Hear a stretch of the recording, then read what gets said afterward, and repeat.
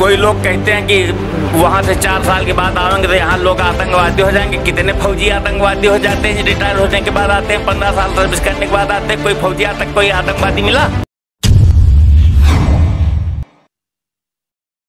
इस समय देश में अग्निपथ योजना एक राजनीतिक मुद्दा बनता चला जा रहा है। दरअसल, जब से केंद्र सरकार ने अग्निपथ योजना को लॉन्च किया उस बार से, उस दिन से पूरे देश में अगर बात की जाए, बिहार को लेकर उत्तर प्रदेश या अन्य शहरों में तो वहाँ पर धरना प्रदर्शन युवाओं द्वारा शुरू हो गए हमारे साथ इस खास बातचीत में अग्निपथ योजना के बारे में उन जो भटके हुए युवा उनको बताने के लिए मौजूद हैं रिटायर्ड सैनिक एमपी त्रिपाठी जिनसे खास बातचीत करेंगे और ये बताएँगे जो उन युवाओं को कि आखिर ये जो चार साल की योजना है, कितनी फ़ायदेमंद है युवाओं के लिए। तो आपका स्वागत है पीटीवी में।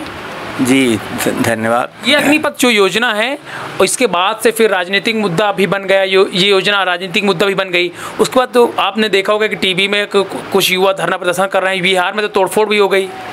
देखिए आर्मी को राजनीति से दूर रखना चाहिए लेकिन राजनीतिक स्थिति इस वक्त कुछ ऐसी हो गई है कि जैसे एक समय कांग्रेस के खिलाफ पूरा भारत के जितने राजनीतिक दल थे सब थे। ले, उसी तरह से आज भाजपा के खिलाफ जितने राजनीतिक दल हैं, वो है, सब के सब हैं।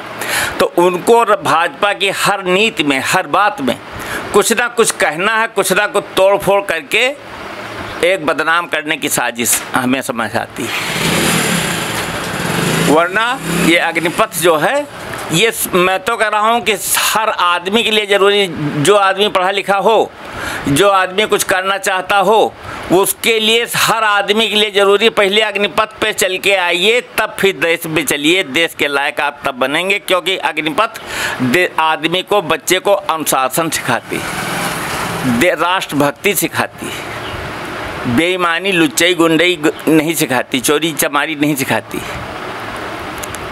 तो अग्निपथ तो मेरे हिसाब से तो हर बच्चे के लिए ज़रूरी होना चाहिए। आज संसार के कई तमाम देशों में इस तरह के, यहाँ तक इंग्लैंड के बादशाह को, जो इंग्लैंड का राजकुमार है, उसको भी अग्निपथ की तरह फौज में सर्विस कमांडो की सेवा देनी पड़ती। और हमारे देश के हर बच्चे को चाहिए। आज आज देखिए, आज रूस और यूक्रेन का युद्ध हो रहा अगर यूक्रेन का हर आदमी हथियार चलाना ना जानता होता आज इतने दिन रूस से वो नहीं लड़ सकते थे। बड़ी बात कही आपने बिल्कुल। तो मैं तो कहता हूँ कि देश हित में अपने हित की बात नहीं कहा हमारे हमको कौन खतरा? देश हित में अगर कोई ज़रूरत पड़ जाए तो हर आदमी को हथियार चलाना आना चाहिए हर आदमी को अनुशासन में रहना चाहिए। कोई लोग कहते हैं कि वहाँ से चार साल के बाद आएँगे तो यहाँ लोग आतंकवादी हो जाएँगे। कितने फौजी आतंकवादी हो जाते हैं रिटायर होने के बाद आते हैं, पंद्रह साल सर्विस करने के बाद आते हैं। कोई फौजी आतंक कोई आतंकवादी मिला? मैं इस विषय में तो बिल्कुल भाई सरकार के साथ मैं तो चाहता हूँ कि हर बच्चा हाँ इतना है कि जैसे चार साल का उसका टाइम होता है अग्निपथ वालों का तो चार साल की जगह पर दो साल उसके कम कर दिए जाएँ। कि जैसे वो 26 साल का हो गया मान लीजिए 24 साल का हो गया तो उसके दो साल कब कह दीजिए जाए बाईस साल से उसकी ज़िंदगी फिर शुरू हो जाए, चाहे वो पढ़ना चाहे, डॉक्टरेट वगैरह करना चाहे B S C B com M S C वगैरह करना चाहे, अपना कुछ करना चाहे इस साल तो सरकार ने जो है साढ़े सत्रह से इक्कीस वर्ष साढ़े साढ़े सत्तर से इक्कीस वर्ष। उसके बाद कोरोना देखते हुए दो साल और बढ़ा दिए तेईस वर्ष। मतलब इस साल तेईस वर्ष तक के लड़के अग्निपथ में अग्निवीर बनकर शामिल हो सकते हैं। ठीक है। हाँ तो ये ठीक है बहुत अच्छी बात है भाई। देखिए काफ़ी पैसा जितने दिन चार साल का सर्विस करेंगे वो तो छः महीने तो बेसिक ट्रेनिंग होती है फौज वालों की। तो छः महीने की ट्रे, बेसिक ट्रेनिंग के बाद उनको फौजी बना दिया जाएगा आर्मी पर्सन बना दिया जाएगा। वो वो जितने अच्छा चार साल के बाद वो आवेंगे तो उनको दस बारह लाख रुपए इकट्ठा मिल भी जाएगा। Income tax free income tax free होगा। हैं? उसमें चाहिए गवर्नमेंट को कि अगर कोई बच्चा अपना रुपया जमा करना चाहता है इन्वेस्ट करना चाहता है तो उसको कुछ थोड़ा ब्याज इंटरेस्ट रेट कुछ बढ़ा के दे। क्योंकि जिससे कि उसकी एक मंथली इनकम पेंशन की तरह बन जाए, जैसे सीनियर सिटीजन को आधा परसेंट बढ़ा के दे, दिया जाता है। तो इस तरह से अग्निपथ वालों को थोड़ा और बढ़ा के दिया जाए। कुछ पार्टियों का जी निकल रहा है, वो कहने के लिए ज़िंदा है। वेंटिलेटर पर हैं। अच्छा युवाओं के लिए क्या कहना चाहेंगे? जो युवा हैं, उनके लिए क्या मैसेज जो युवा भटक गए जो अग्निपथ योजना को समझ नहीं पा रहे हैं वो युवाओं को भटकाने के लिए देखिए, हमारे देश में राजनीति, अब राजनीति नहीं रह राजनीति हो गई एक व्यापार। ये राजनीति में लोग राजनीतिज्ञ अपना पैसा इन्वेस्ट करते हैं युवाओं को भटकाने के लिए। युवा इसे नहीं कोई दौड़ के चला जाता, कोई दिल्ली चला जाए, कोई बॉम्बे चला जाए। कोई युवा इस तरह के नहीं, उसमें तीस तीस, चालीस चालीस साल के लोग देखे गए, पकड़े गए। अब कहने के लिए पैंट बूसर पहन के कोई भी चला जाए, हम नहीं मानते। अच्छा हर जगह राजनीति कहीं ना कहीं कुछ ना कुछ हर विभाग में है।